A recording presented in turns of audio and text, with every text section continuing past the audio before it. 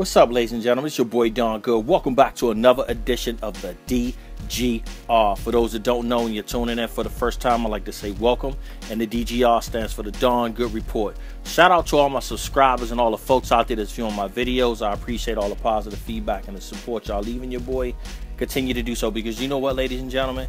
At the end of the day, I do this for y'all as well as I do it for myself. All right, let's jump into the review. You are now looking at the Nike times Penny Hardaway Sharpie Foamposite and Penny 6 pack. Mm, mm, mm. That's right, these drop on Saturday. I wanted to give you a close up view of what you'll be getting and hopefully to help you make a decision on whether to cop or not to cop. All right, but you see what I did. All right, so let's jump into it. As you can see, I'm gonna give you a little history on this sneaker right here. Um, I think the year was 1997 uh, when Penny uh, actually uh, tried to wear um, the Foamposites, um, the Royal colorway. Uh, I think the NBA pretty much said hey, um, this is not the standard. Um, it doesn't uh, um, work with the uniform. the uniform is this color. So he said, hey, he took a Sharpie uh, a pen and pretty much did what you see right here and this is why we have the concept uh, today.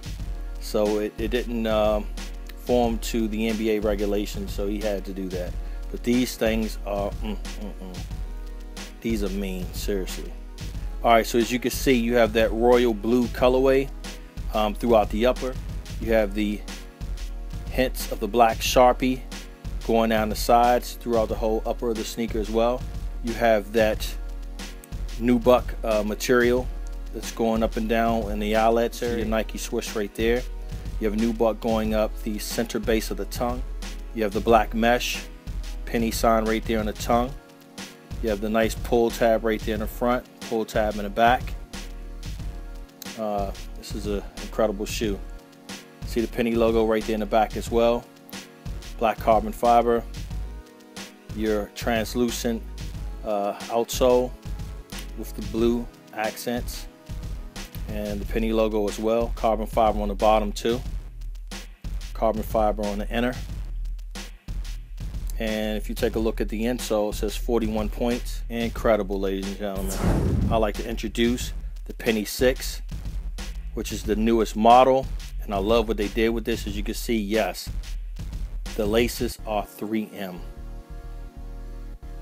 folks are sleeping on this shoe right here I will definitely rock these and I'm gonna rock them hard. Look at that. That Mega Fuse upper. foam Foamposite material on the outer. Your swoosh with the black designs in it. Mm, mm, mm. Look at that, y'all. Your Zoom Air unit. The laces are fire. See your lace lock right there. Penny Hardaway on the tongue base with the logo. Wow. See that? Penny Hardaway 6 stitched on the end of the tongue base. Can't go wrong with these. Very, very clean shoe. Look at that. Translucent in the mid part of the area. You also have carbon fiber on this shoe as well. Penny logo. Blue pod in the front and back. Nike swoosh. Blue dots. Nike right there. I mean, you can't go wrong. And the box is so, so dope. Penny Hardaway right there. See the design. And it's raised as well, ladies and gentlemen. Cool, cool box. Also came with a stock card. Shows you the old school Royal, which was in 1997. I was telling you, a breakthrough in technology, and then it shows us a Sharpie um, version right there as well. These things are dope. All right, this your boy DarnGood signing out with another DGR. Don't forget to tell a friend about my channel. If you haven't subscribed, I want you to subscribe today. And uh, thank you for supporting your boy. All right, see y'all in the next DGR. Oh, and have a wonderful and safe 4th of July. Peace.